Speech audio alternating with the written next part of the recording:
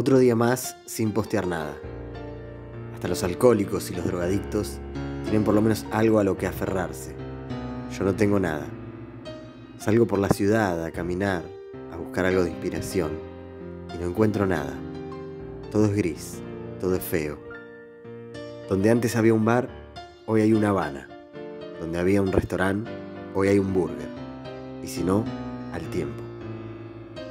Es tan triste todo que ya ni el reloj que estaba en el banco Itaú me da la hora. Me paso los días poniendo me gusta, deslizando a la derecha en busca de algo que no sé bien qué es. Pero si sos de las personas que alquilan esos monopatines por la calle, ya sé todo de vos. Lo siento, no va a funcionar.